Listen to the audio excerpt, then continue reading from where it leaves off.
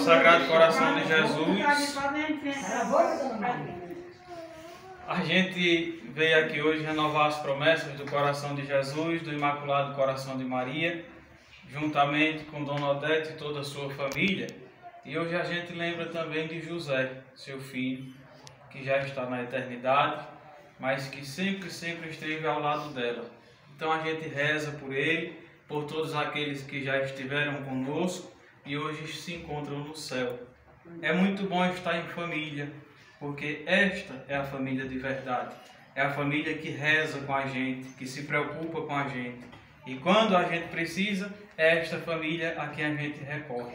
Então, por cada um de nós e por aqueles que já estão na eternidade, rezemos. Pai nosso que estais nos céus, santificado seja o vosso nome, venha a nós o vosso reino, feita a vossa vontade, assim na terra como no céu.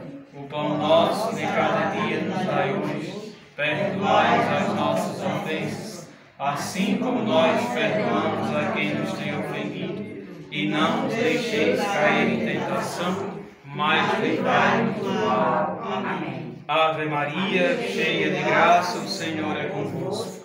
Bendita sois vós entre as mulheres, e bendito é o fruto do vosso ventre, Jesus. Santa Maria, Mãe de Deus, rogai por nós, pecadores, agora e na hora de nossa morte.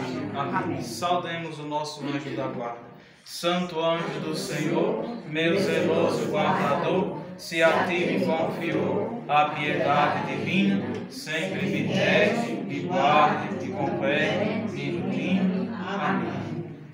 Muito bem.